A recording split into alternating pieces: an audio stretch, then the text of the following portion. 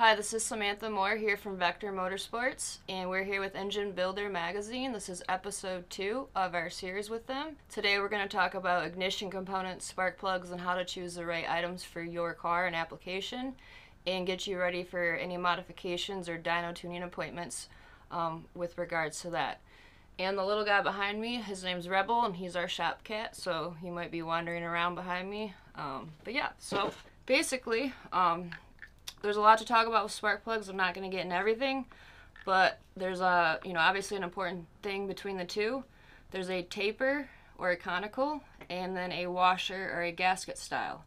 Make sure when you select a spark plug, the first thing you look at is your heads and the manufacturer recommendation if you need the gasket or if you need the taper. I've actually had customers bring the wrong spark plugs in the car installed and that can cause severe damage to your heads or even your engine over time. So make sure you choose the right spark plug with that. The other thing, obviously, is brand. There's a million brands out there. Uh, Brisk, NGK, E3, Autolite, stuff like that. I prefer Brisk. They make the best, in my opinion, for what we do at, here at our shop. NGK also makes good plugs for different applications. The other thing you have to think about is the type of spark plug for your application, what you want to run. Brisk makes a silver racing plug, which we use in most of our stuff, especially with alcohol, ethanol, flex fuel. We like it because it burns really well. Um, it also does really well with ethanol fuels and showing fueling and timing and marks like that, so they're easy to read.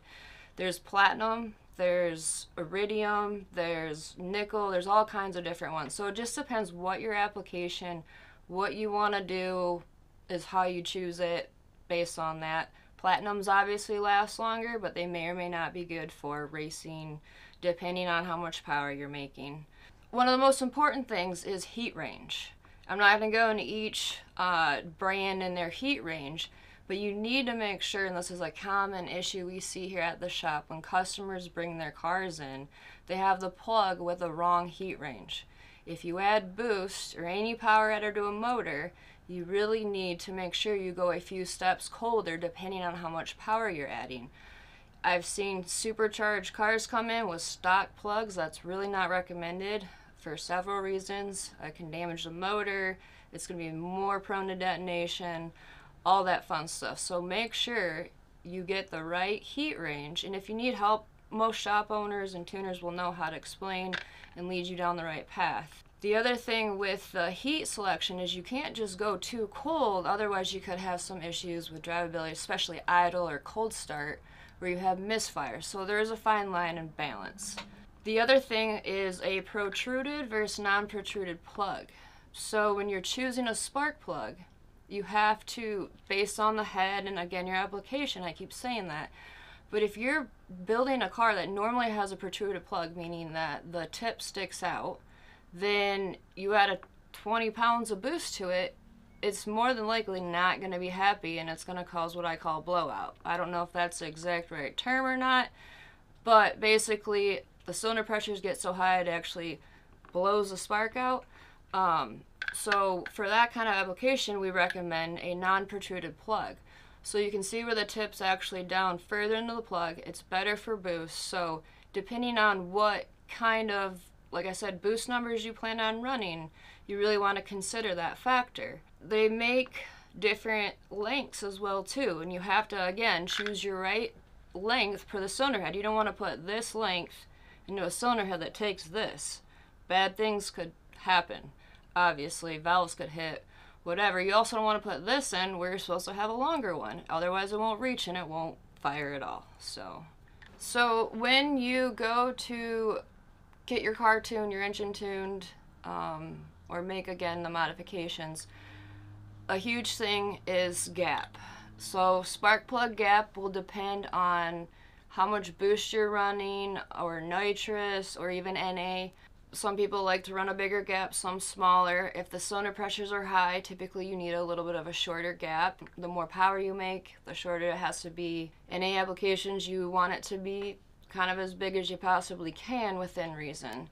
And an important way and thing you need to do is make sure you have the proper tools to gap the plugs correctly.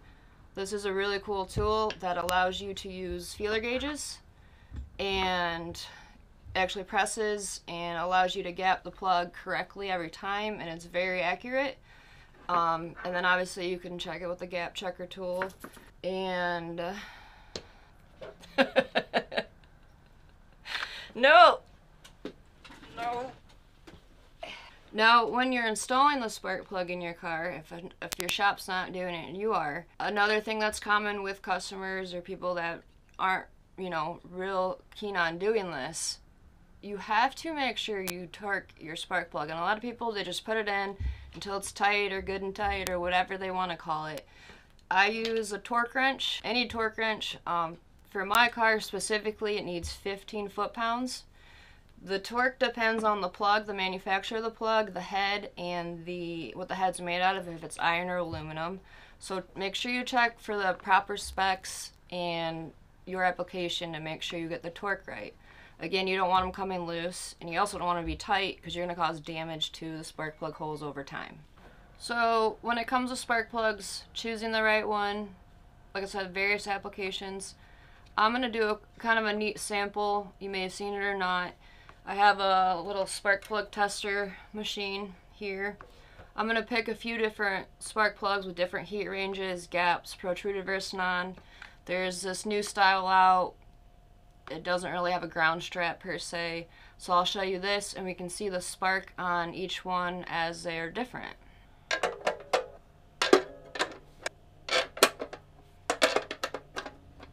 So now they're all in.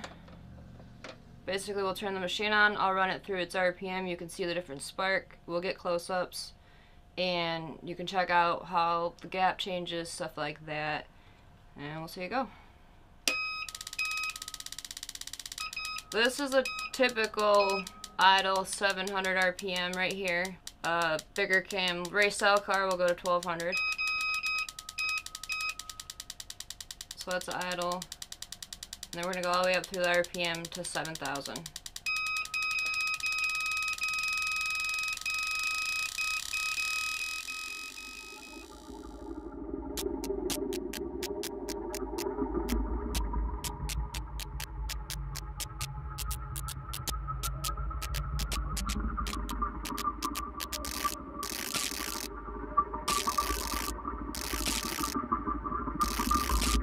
So another important part of the ignition components are wires. You want to make sure you actually don't cheap out on these. Either stick with the OEM manufacturer um, wires or make sure you get a good aftermarket brand because this is what is transferring all the electricity into the spark plug creating your spark. If you have really cheap wires or bad wires you're going to have some issues. On the LS stuff especially, when you go with headers, or any application really, most commonly what we recommend is socks. So you actually can put the sock over the wire. This prevents it from melting into the header, causing misfires. There's, you know, a bunch of different sock manufacturers. Make sure you get a good set. Here's an example of one, actually it was black, and you can see where it touched the header and saved the wire. So it helps prevent misfires or, you know, changing wires all the time if they melt. So we talked about the plugs, the wires, the socks. So now we're going to talk a little about coils. Again, the same thing. Make sure you stick with a good manufacturer. Um, OEM's always the best. If you're going aftermarket, Here's an example of a Holley Smart Coil. These coils can produce a lot. They last a while. When a car comes in for tuning a lot, if we get a misfire, you know, we change coils over and see if it follows. Check your coils. Coils do go bad. This is a stock GM coil. They go bad all the time, you know, randomly. So make sure your coil's all good. Normally you can see them explode or you'll see weirdness. Or like I said, if you're getting a misfire and it follows the coil, obviously the coil's bad. So that's some common stuff we see on the dyno tuning a lot. The other thing when it comes to coils and wires and all this stuff, make sure your wiring harness, especially if you just built the car and rewired it, is properly grounded for the spark and ignition wiring. I've had a few instances on the dyno you get random misfire, randomly running rough, and it turns out that the ignition coils were not properly grounded. They were either grounded to the chassis or the wrong spot. Ideally, they should be on the back of each head. When you go to put an aftermarket EFI system in, like a Holley, a Big Stuff, anything like that, another common thing people don't think about check the timing make sure you check the static timing using a timing light simple people don't think about it sometimes some systems don't require it. Obviously, a stock system doesn't require it. Some aftermarkets don't require it. But it's always good to check timing. Make sure it matches the ECU. We had a customer come in and he had his car tuned completely somewhere else. It wasn't running right. It was running weird. I started tuning it. It had an EFI system in it. And I noticed that the timing I was putting in didn't match what it should have been for a normal LS car. So some a red flag went off. I checked the timing. It was 20 degrees off advance. So that did some damage, obviously, to the motor at the previous shop. So let's just say it cost him a motor, unfortunately. Check the timing. So overall, that is pretty much it when it comes to ignition, spark plugs, all the stuff like that. Most shops will be able to tell you everything you need to know. It'd be good to go over everything, make sure all your wires are grounded, your coils are good, your wires save time on the dyno, save money at the end of the day.